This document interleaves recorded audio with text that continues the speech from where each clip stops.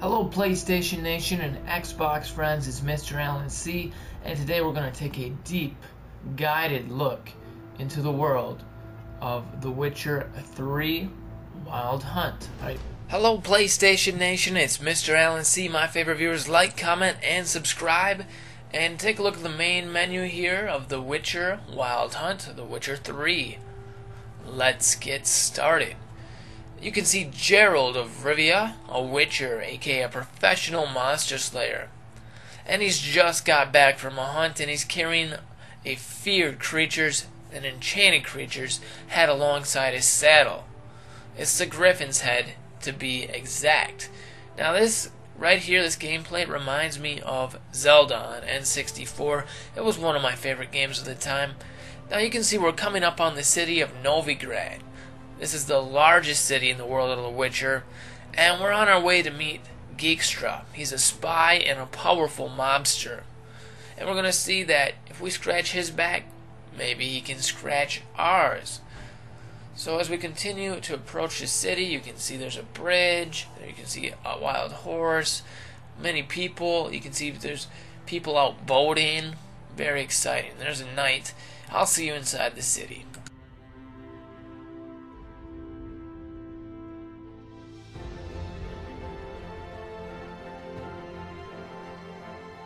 Ah, I knew you'd make it inside the city. Now, here in the city, we can see a lot of action going on. The population here is several thousand, and there's inns, there's brothels, there's homes made of brick. The streets are paved for the convenience. We got artisans, a breathtaking temple. It's, we also have, we can boast about the largest seaport in the area being in this city. Welcome to Novigrad. And just like in Battlefield 4, like they would say, this world, it's living, it's breathing. There are so many different people with different agendas good, evil. They all have their own attitudes. They all have different activities they do in the daytime and activities they do in the nighttime. You're going to run into some real characters in Novigrad. Witchers are kind of heroes around here. In a moment, we'll come upon some kids and just take a listen of what they have to say as we run by on our horse. We have an agenda.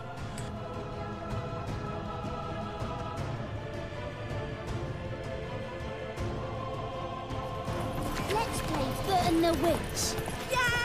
Every decision you make is going to affect a different aspect of your adventure in this game.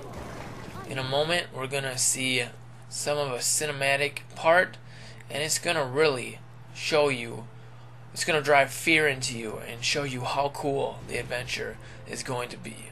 Are you ready? Let's meet our friend in the tavern. Greetings, Dijkstra. How's your health?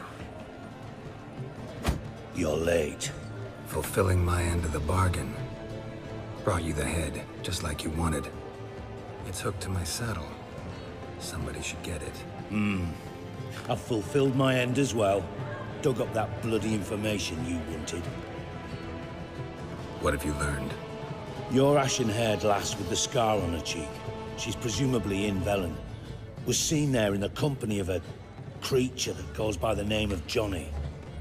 Don't laugh, but to believe the witness's tale, this being looks a bit like a child and lives in some burrow in the woods. Probably a Bukka or a Luton. But she's in Velen? Damn it. Geralt, is she who I think she is? Thanks, Dijkstra. That was coin well spent. Nice talking to you. The time I was on my way. Alright, Dijkstra, aka Jibber Jabber Jaws, tells us that the creature and Johnny we are looking for our deep south, in a valley that they only refer to as No Man's Land. Now, the creature was last seen there, and it is some distance, so we're going to haul ass and make some time getting there. What our plan is here is we're going to use a signpost to teleport, in a sense, to the outer parts of the city.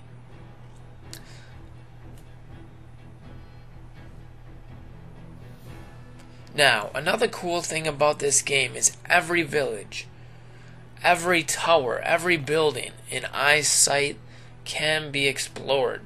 So in some games you see a tower off in the distance and you can't get to it. That is not the case in The Witcher 3. There are no invisible walls to hold you back. It looks like we may have found our post, our signpost. Fast travel allows you to visit places you've explored in the game in the past. It allows you to jump to that area. Now, if we would have rode our ho- horse at full gallop, full speed, it would have taken us 15 to 20 minutes to reach the destination where we're just going to transport. That is incredible. That just talks about the mass scale of this game.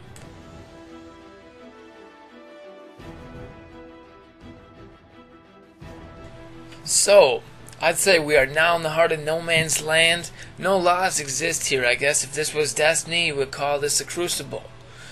Now, Dijkstra told us we are looking for a creature that's full grown, but it looks like a small child.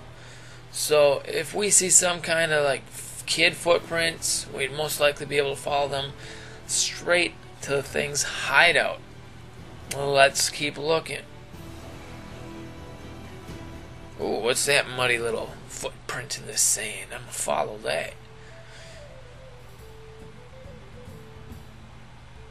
Something tells me we're close. Alright, what's this strange looking cave?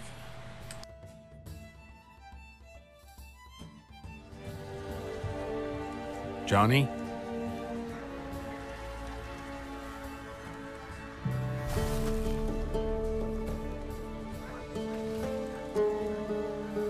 Don't be afraid.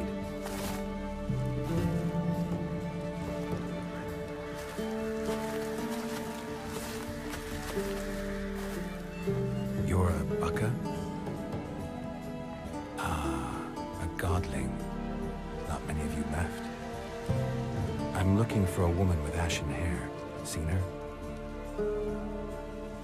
Tell me everything from the start. Where did you see her? What was she doing? It's important to me. Why not?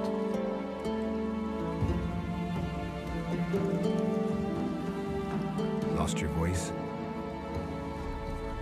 Can I help you somehow?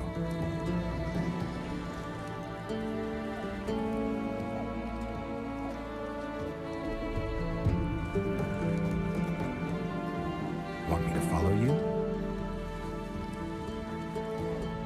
No choice, I guess.